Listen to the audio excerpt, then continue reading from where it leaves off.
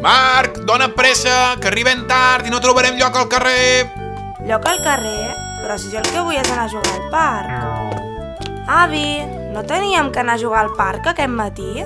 Al parc podrem anar a la tarda, però el que anem a veure ara només passa un dia a l'any als carrers de Sant Joan d'Espí.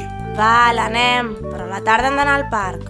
Sí, a la tarda hi anirem, però ara vine, ja veuràs com t'ho passaràs molt bé aquest matí.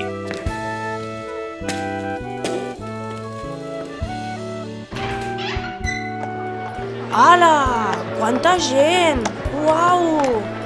Avi, avi, i què fan aquests carros i cavalls pel carrer? Això és la festa dels Tres Toms, que no havies sentit parlar d'ella. Doncs no. Mira, els Tres Toms és una festa que celebra molts pobles i ciutats de Catalunya i que està relacionada amb la vida al camp. Perquè tu saps en què treballava la major part de la gent de Sant Joan d'Espí quan jo era petit? Doncs no ho sé, avi, però a l'oficina com la mare segur que no. Quasi tothom treballava al camp, eren pagesos i pageses, i els carrers de Sant Joan d'Espí a la tardor feien olor a pomes acabades de collir. Ah, això sí que ho sabia, perquè encara el pare i la mare em diuen que van a comprar pomes de Sant Joan, que són les més bones.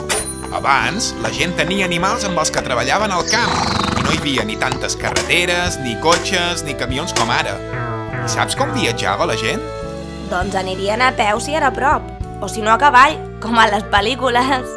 Tens raó, la gent anava a molts llocs a peu, però quan havia d'anar una mica més lluny ho feien a cavall o en carro. Però en aquells anys tenir un cavall o un ase era molt car i no tothom s'ho podia permetre. Llavors tenir un cavall o un carro era una cosa molt important. I tant! Per això celebrem la festa dels Tres Toms. És un homenatge als traginers, que són les persones que portaven els carros. Els animals, els cavalls, les mules i els rucs que feien possible el transport i el treball al camp.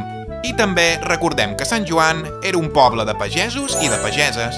I el nom dels tres toms? Sona una mica estrany. Resulta que com que els animals eren tan importants per les persones, se'ls volia protegir d'alguna manera. I és per això que tothom volia que un sant els protegís. Sant Antoni Abat. Dia a l'any anaven en processó fins l'església més propera amb els carros i els animals per rebre la benedicció del sant perquè els protegís. I tres toms? Per què no només un? Molt bona pregunta, Marc. Feien tres toms al voltant de l'església perquè el primer tom portés salut als animals, el segon tom portés una bona collita i el tercer tom per tenir benestar per tota la família. Avi, hi ha molts carros i cavalls. No es veu ni al final de la desfilada. És que encara hi ha molta gent que conserva el seu carro i fins i tot hi ha persones que es troben per reparar-los i conservar-los i així treure'ls al carrer ni que sigui un dia a l'any. I és que et senten molt orgullosos del seu passat. I per què es llencen carmels? Doncs per fer el dia més dolç i que vosaltres gaudiu recollint-los. I deixa de fer preguntes i mira bé els carros i els animals, que un altre dia no els podràs veure tan a prop com avui. I és que els tres toms només són una vegada a l'any. Mira aquest carro que gran i va carregat de palla. I aquests cavalls porten un munt de picarols. Que encara penses en anar a jugar al parc? M'has dit que aniríem a la tarda, però ara prefereixo ser aquí mirant els carros i els cavalls. Avi, avi, per res podré demanar un carro i un cavall?